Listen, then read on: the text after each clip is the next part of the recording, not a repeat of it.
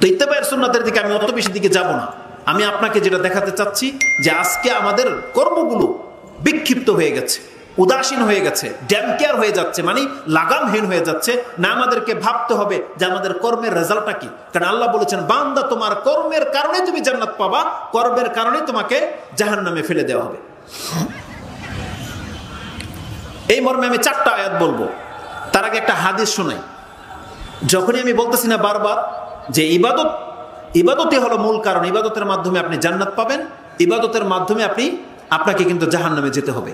এই কর্মের মাধ্যমে। অনেকে আছে না যারা, অনেক কিছু তো জানে না, কিন্তু কিছু কথা তো জানে। একটা হাদিস হয়তো অনেকে জানে যেহেতু রাসুসলাম বলেছেন, ইবাদতের বিনিময়ে কেউ জান্নাত যাবে না। এ হাদিস তো শুনেছেন, তাই না?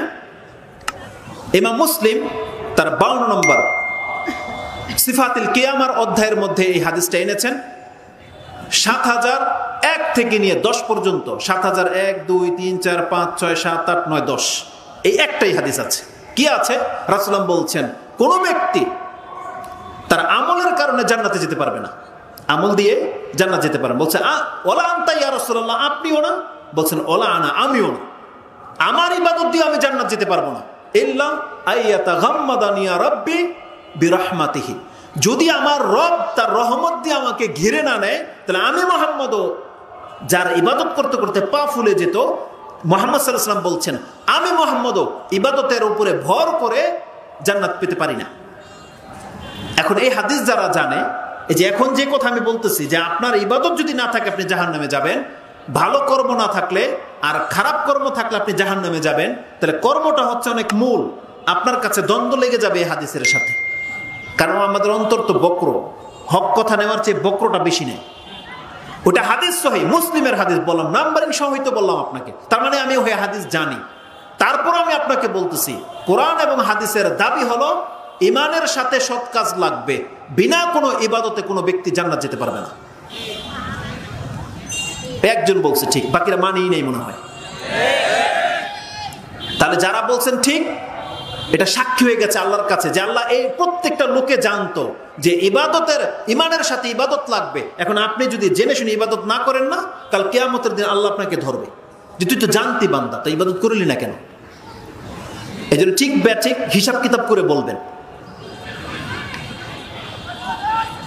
আল্লাহ সুবহানা হুয়া এই ব্যক্তিটা হচ্ছে যেই ব্যক্তি ইবাদতের ভরে জান্নাতে যাবে না, তার মানে কোনো ব্যক্তি যদি এত বেশি পরহেজগার হয়, আর সে যদি আল্লাহ রহমতের প্রত্যাশা না করে, এই ব্যক্তি তার ইবাদতের ভর করে জান্নাতে যাবে না। আল্লাহ তার কোনো নিয়ামতকে যদি তার সামনে দাঁড় করিয়ে দেয়, আর যদি বলে, বান্দা ইবাদত দিয়ে চুকা।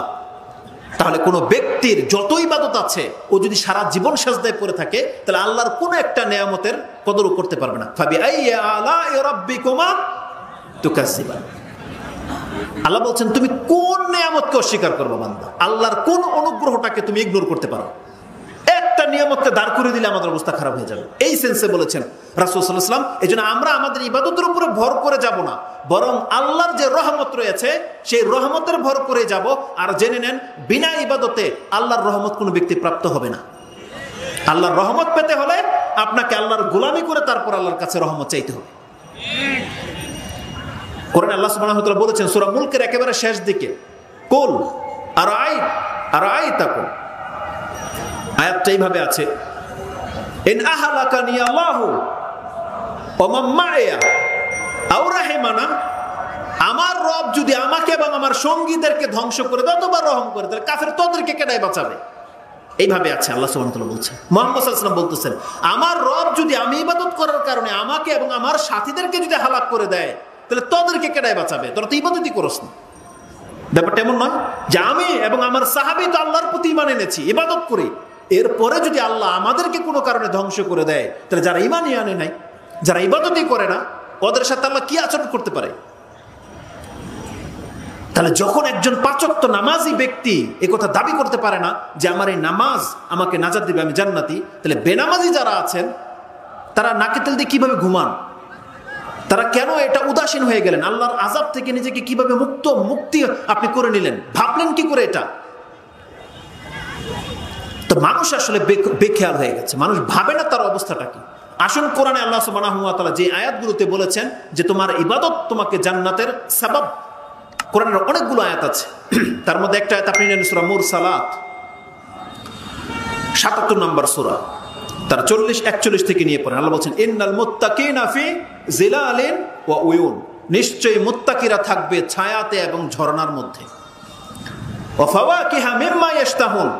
তাদেরকে এত ফল ফলাদি দেওয়া হবে যখন যা চাইবে তা। মা ইয়াশতাহুন। যখন মনে যা চাইবে, সেই ফল তাদেরকে তার সামনে উপস্থিত করা হবে এবং যা চাইবে তাই দেওয়া হবে। তাদেরকে বলা হবে কোনো মাসারাবু হানিয়ান। তুমি খাও, পান করো, ফুর্তির সাথে, একেবারে প্রশান্ত চিত্তে।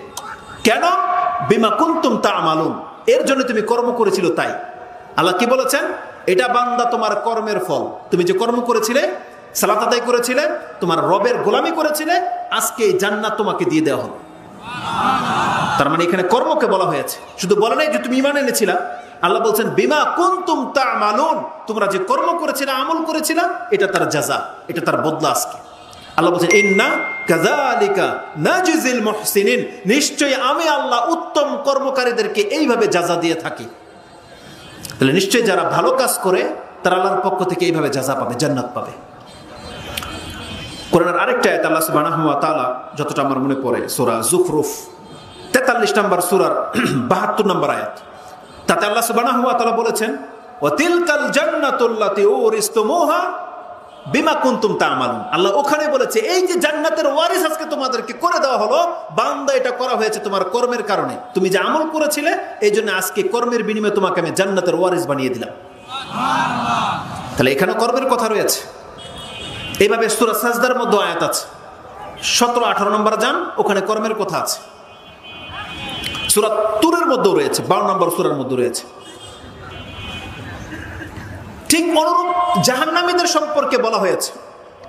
যাদেরকে শাস্তি দেওয়া হবে, কেন তাদেরকে জাহান নামে ফেলা হলো, ওখানেও বলা হয়েছে, বিমা কুন্তুম তা মানু যেমন আল্লাহ বলছেন এন নাকুম লাজাইকুল আজাব এন্নাকুম লাজাইকুল আযাবিল আযাবিল আলিম। নিশ্চয়ই তোমরা কঠিন শাস্তির স্বাদ চাকবে। কঠিন বেদনাদায়ক শাস্তির স্বাদ তোমরা, তোমাদেরকে পেতে হবে।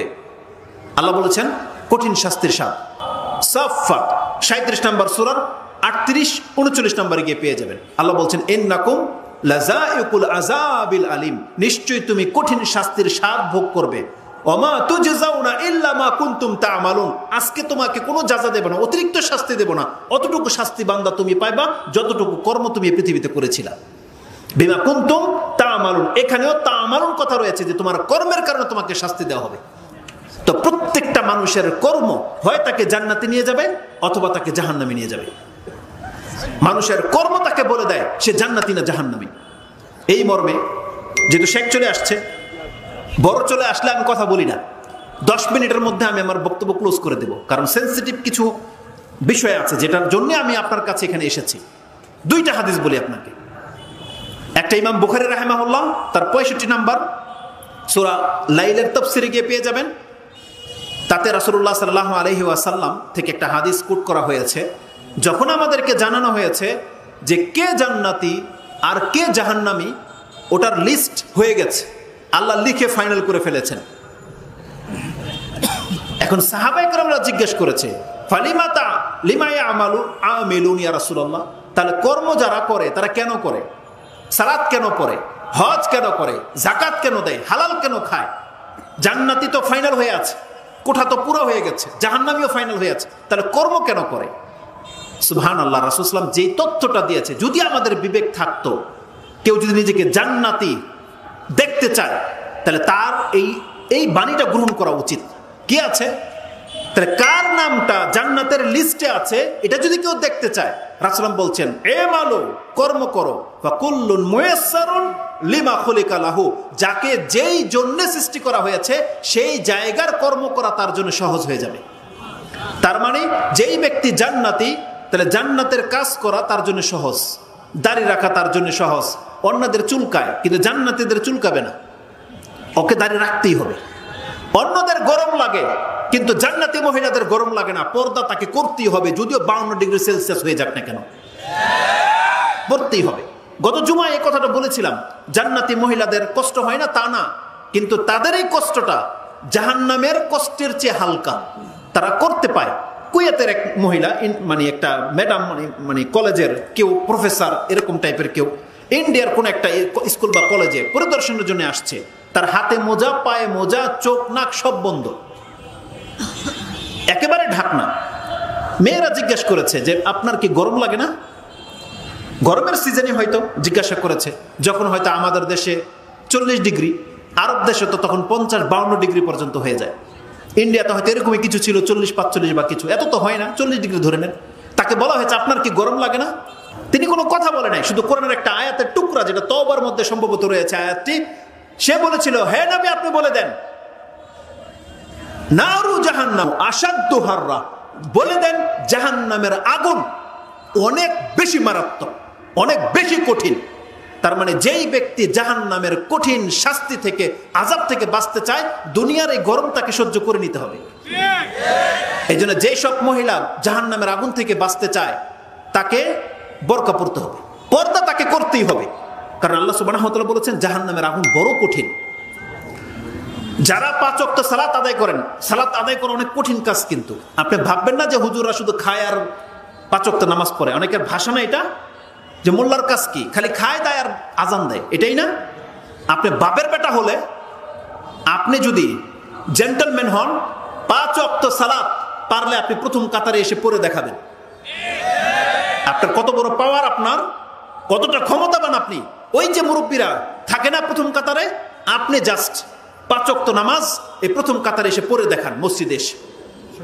আল্লাহ সুবাহ বলছেন ও কাবির নিশ্চয়ই এটা অনেক বড় একটা কাজ। ওয়াইন্নাহা লাকাবির। তবে কাদের জন্য সহজ?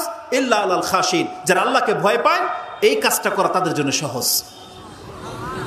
রাসূলুল্লাহ বলেছেন, এ মালু কুল্লুন মুয়াসসারুন লিমা খুলিকা তোমরা কর্ম করো, দেখো, তোমার কর্ম বলে দেবে তুমি জান্নাতি না জাহান্নামী। কর্ম বলে দেবে। আজকে সারাদিন যারা পাঁচক্ত সালাত আদায় করেন নাই, হারাম খেয়েছেন, আপনি ডিসাইড করে নেন আপনার খাতার নাম, কোন খাতাটার মধ্যে আপনার নাম থাকতে পারে বলে দেন।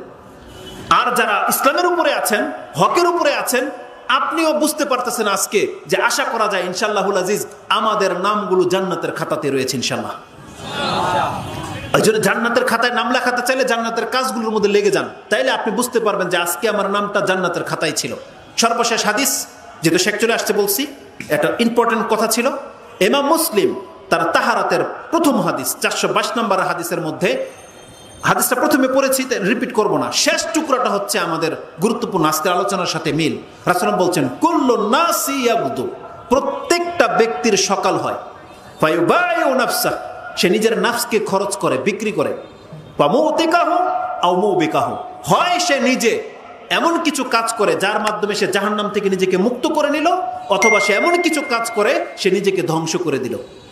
তার মানে আল্লাহ সুবাহানা হুয়া তালা প্রত্যেক ব্যক্তিকে একটা খালি ময়দানে, ফিল্ডে ছেড়ে দেয় প্রতিদিন সকালে। এই সকালে আপনার উপর এমন কিছু কাজ ফরজ হয়, যেই ব্যক্তি কাজগুলো করে নেবে, সে নিজেকে জাহান্নাম থেকে মুক্ত করে নিল, আর যেই ব্যক্তি কাজগুলো করল না, বরং এর বিপরীত কাজ করল, সে নিজেকে হালাক করল, ধ্বংস করল। এইভাবে আমাদের প্রতিদিন যত দিন যাচ্ছে, জেনে নেন আমরা নিজেদেরকে কি জান্নাতি করতেছি না জাহান্নামের দিকে ঠেলে দিচ্ছি? এটা প্রত্যেক ব্যক্তি তার আমল নামা দেখে নেক, সে তার রেজাল্ট পেয়ে যাবে। সে তার রেজাল্ট পেয়ে যাবে। বলছি চারশো পাঁচ নম্বরে এ হাদিসটা রয়েছে এবং ইমাম মুসলিম আরেকটা কথা বলেছিলেন মামবাত্তা বিহি আমালুহু ফালাম ইউসরে বিহি নাসাবুহু। যেই ব্যক্তির আমল তাকে পিছনে ফেলে দিবে টু টেক ডিলে বা ডাউন যেই ব্যক্তির আমল তাকে পেছনে ফেলে দেবে ইউসরে তার বংশ, তার জন্ম, তার কালার, তার টাকা, তার সন্তান তাকে কোনোদিন আগে বাড়াতে পারবে না। নাজাদ পেতে চেলে, জান্নাত পেতে চেলে, আমাদেরকে আমলের মাধ্যমে যেতে হবে। ইমান এবং আমল, এই দুইটার মধ্যে যদি কোনো একটা মিসিং হয়, ওই ব্যক্তি নাজাদ পাবে না। কোরআন, হাদিস আমাদেরকে এটাই বলতেছে। আল্লাহ সুবাহ তালা আমাকে এবং আমাদের মুসলিম ভাইদেরকে কথাগুলো মেনে চলার তৌফিক দান করুন কথাতে যদি কোনো বাড়াবাড়ি থেকে থাকে, আমি আল্লাহর কাছে ক্ষমা চাচ্ছি, আল্লাহ যেন আমাকে ক্ষমা করে। আর কথা যদি হক হয়ে থাকে, সেটা আমাদের মুসলিম ভাইদের অন্তরে যেন আল্লাহ কথাগুলোকে পৌঁছে দেয়। এবং তাদেরকে এই উপদেশ আল্লাহ আমাকে এবং আমাদের ভাইদেরকে আল্লাহ এই উপদেশগুলো মেনে চলার তুমি তৌফিক দান করো। এবং মৃত্যুর পূর্বে আল্লাহ তোমার কাছে মুসলিম হয়ে সাক্ষাৎ করার তৌফিক দান করো। সুবহান রব্বিকা রব্বিল ইজ্জাতি আম্মা ইয়াসিফুন, ওয়া সালামুন আলাল মুরসালিন আসসালামু আলাইকুম ওয়া